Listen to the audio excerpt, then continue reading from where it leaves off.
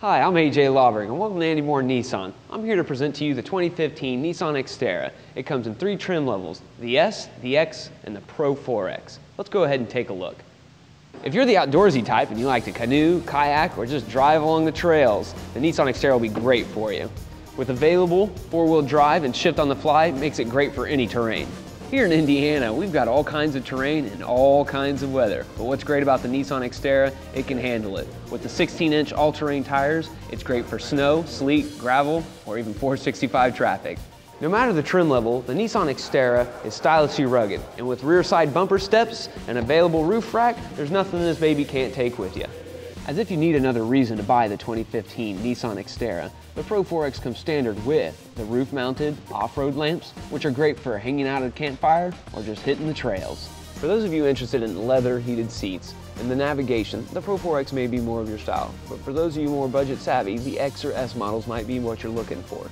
With available Bluetooth with streaming audio apps, and of course too with the USB plug-in, and then of course that rugged outside look you've come to love, that might be just the best way to go.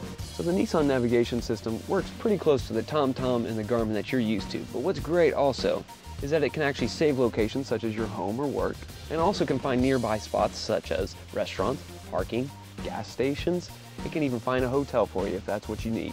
Another great part about the Nissan navigation system is it gives you up-to-date traffic information, but also comes with apps such as Pandora and Facebook, and it can even run by voice commands. When taking the Nissan Xterra on a road trip, you might run into some hilly terrain, but Nissan Xterra's got you covered with the hill descent control and the hill start assist.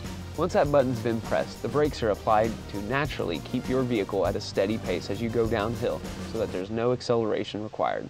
So the Nissan Xterra's got you covered going downhill, but what about going uphill?